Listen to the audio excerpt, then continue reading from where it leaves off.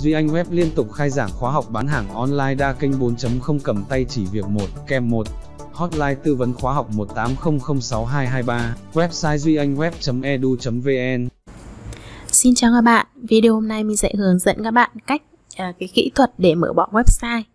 Thông thường khi uh, bắt đầu thiết kế một trang web cho khách thì thiết kế bên mình sẽ chặn bỏ để tránh ờ, để khi mà website của chúng ta hoàn thiện, nội dung của chúng ta đã ok thì lúc đấy chúng ta mới mở bọ để Google Index ờ, các bài viết ở trên website của chúng ta. Vậy thì cách mở bọ thế nào? Một kỹ thuật cực kỳ đơn giản. Đầu tiên là các bạn sẽ đăng nhập vào quyền admin bằng account và mật khẩu mà doanh web đã cung cấp cho bạn khi mà bàn giao website nhé sau khi đăng nhập vào quyền admin rồi, chúng ta sẽ vào phần bảng tin đấy các bạn kéo xuống ở phần cài đặt ấy.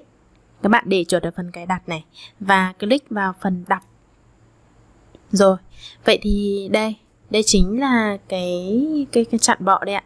Thế thì hiện tại ở đây là đang ngăn chặn công cụ tìm kiếm đánh giá đánh chỉ mục website này. Chúng ta chỉ cần tích vào đây bỏ và chúng ta lưu thay đổi.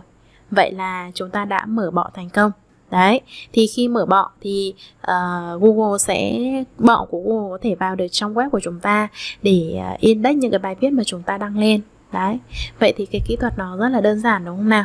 Uh, rồi, ok các bạn, nếu các bạn có cái thắc mắc gì về kỹ thuật uh, chặn bọ, mở bọ website hoặc là về uh, bất cứ một cái nội dung nào trên quản trị web ấy, thì các bạn có thể comment ở dưới video này. Các bạn nhớ like video và subscribe, sub uh, ấn đăng ký kênh YouTube của Doanh Web để thường xuyên nhận được những clip về uh, quản trị web cũng như như là thông tin về marketing online. Cảm ơn các bạn đã xem hết clip này.